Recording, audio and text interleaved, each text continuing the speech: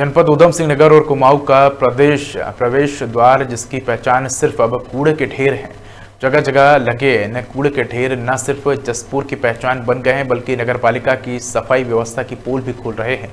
इन कूड़े के ढेरों से हर नागरिक परेशान है। दरअसल ये नज़ारा जसपुर नगर पालिका का है, जहाँ शहर और शहर के बाहर भी कूड़े और गंदगी का अंबार लगा हुआ है। लेकिन नगर पालिका प्रशासन का इस ओर कोई ध्यान नहीं है। बदलते मौसम में जहाँ डेंगू जैसी बीमारियाँ भी अपने पैर पसार रही हैं तो वहीं इस गंदगी से लोगों को बीमारी का डर सताने लगा है। कई बार शिकायतों के बाद भी आखिर नगर ने कोई ठोस कदम नहीं उठाया लोगों की माने तो नगर पालिका द्वारा हाउस टैक्स समय से लिया जा रहा है, लेकिन कूड़े और गंदगी की सफ़ाई नहीं हो पा रही है। वहीं वार्ड मेंबरों का कहना है कि कई बार अधिशासी अधिकारी से शिकायत की गई है और हर बार मीटिंग में इस मुद्दे को उठाया जाता है, लेकिन कोई भी सुनने को तैयार नहीं है। मेंबर्स का कहना है कि नगर पालिका द्वारा सफ़ाई के नाम पर पैसा ठग रही है। जसपुर से प्रदीप श्रीवास्तव की रिपोर्ट। के खिलाफ मैंने नगर पालिका जसपुर ईओ साहब को कई बार लिखित रूप में शिकायत करी है। और एसडीएम साहब को भी दी थी।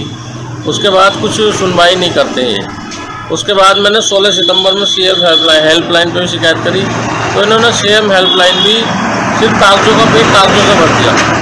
धरातल पर कोई कार्य किया ही नहीं इन्होंने। सफ़ाई के नाम पर इन्होंने गलत पैसा निकाला जा रहा है नगर पालिका जसपुर द्वारा।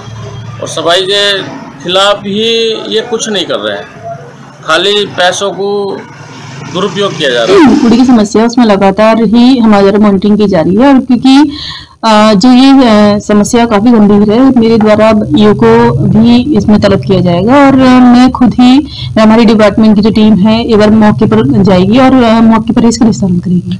कि अगर ये बात है, क्योंकि लंबे समय बाद मैंने आज ही ज्वाइन कर रखा है तो उसके बाद जो भी कार्रवाई होगी, मैं इसको देख लूँगी